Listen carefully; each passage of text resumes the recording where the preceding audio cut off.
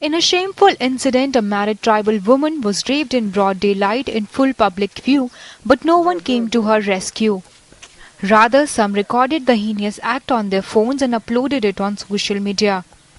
The incident, which took place on a road leading to Udupa village under the local police limits, had sent shock waves across the district. A man stopped the victim near MV84 village when she was walking back to her home. He pounced on the woman and raped her while passerby took no action. एक unknown आदमी ने दुष्कर्म किया। हमने inquiry करने की कोशिश करी क्योंकि अंदर इंटीरियर नक्सल इन्फेस्टेड एरिया हो जाता है, इसलिए हम साथ के साथ इतना जल्दी इंक्वायरी नहीं हो पाया। परंतु हमारा टीम कल लेट नाइट और आज सुबह भी ये, इसको वेरीफाई घटना को वेरीफाई करने में लगा हुआ था।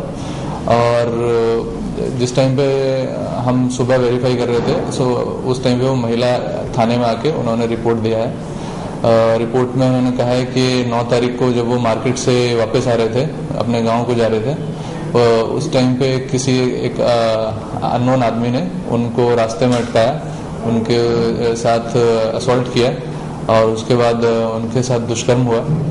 तो इतनी घटना हमें पता लगी। फिर इंक्वायरी करने के बाद हमें एक आदमी के बारे में पता लगा, जिसको हमने डिटेन किया police later registered case and arrested the rapist for the investigation is on the way